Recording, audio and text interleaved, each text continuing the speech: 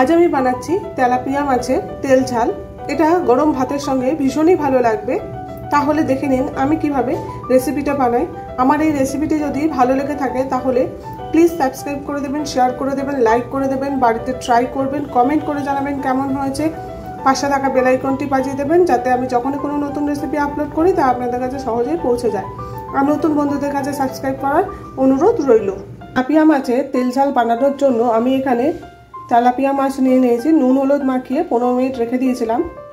কালো জিরে হাফ চামচ, হলুদ হাফ চামচ, ধনে গুঁড়ো এক চামচ, জিরে গুঁড়ো এক চামচ, কাশ্মীরি মির্চ এক চামচ, ধনে পাতা কুচি দু চামচ মতো, স্বাদ মতো নুন, পেঁয়াজ স্লাইস করে কাটা, একটা মিডিয়াম সাইজের, কাঁচা লঙ্কা কয়েকটা, একটা মিডিয়াম সাইজের টমেটোকে কুচি করে নিয়েছি, কেটে নিয়েছি।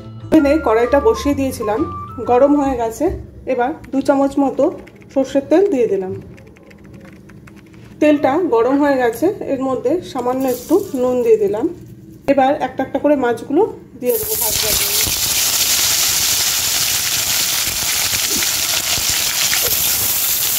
তেলটা যদি ভালো করে গরম না হয়, মাছটা দিলে কড়াইতে মাছটা লেগে যেতে পারে। হালকা করে ভেজে নেব। মাছটা ভাজা হয়ে গেছে, এবার তুলে নেব।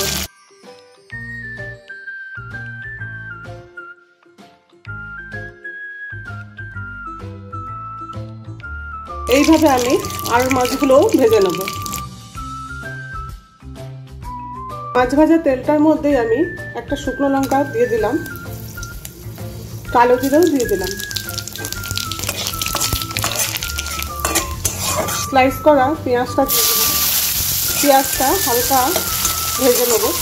পেঁয়াজটা হালকা ভাজা হয়ে গেছে, এবার টমেটো কুচিটা দিয়ে দিলাম। স্বাদ মতো নুন দিয়ে দিলাম। টমেটো দেওয়ার পরে নুনটা দিলে টমেটোটা তাড়াতাড়ি গলে যায়। টমেটোটা গলে গেছে, এবার হলুদ, ধনে, জিরে, কাশ্মীরি মির্চের গুঁড়োটা আমি দিয়ে দেবো। সামান্য একটু জল দিয়ে দেবো। যাতে মশলাটা না পুড়ে যায়। কয়েকটা কাঁচা লঙ্কা দিয়ে দিলাম। ভালো করে কষিয়ে নেব মশলাটাকে। মিডিয়াম ফ্লেমে রয়েছে কয়েক দানা চিনি দিয়ে দিলাম।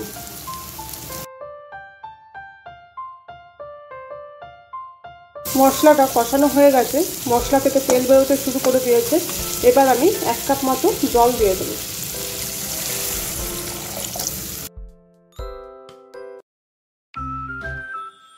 ঝোলটা ফুটতে দেবো, ঢাকা দিয়ে দেবো দু মিনিটের জন্য। মিডিয়াম ফ্লেমে রয়েছে, দু মিনিট হয়ে গেছে। ঝোলটা ফুটে গেছে। এবার একটা একটা করে মাছগুলো ঝোলের মধ্যে দিয়ে দেবো।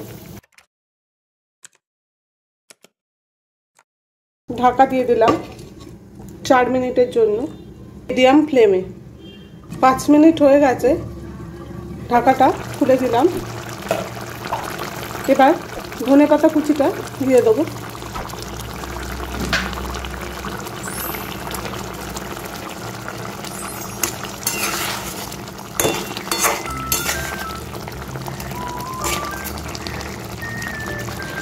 তেলাপিয়া মাছে তেল, ঝাল তৈরি হয়ে গেছে। এবার গ্যাসটা অফ করে দেবো। পাঁচ মিনিটের মতো ঢাকা দিয়ে রেখে দেবো। তারপরে সার্ভ করব।